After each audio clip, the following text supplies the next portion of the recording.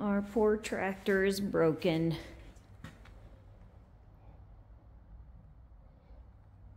And we are having a hard time finding the parts.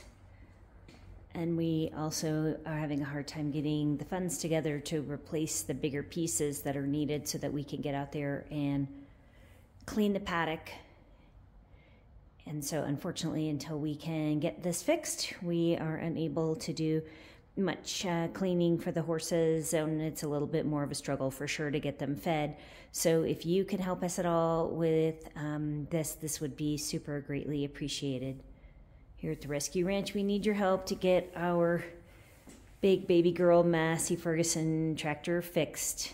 Thank you and God bless.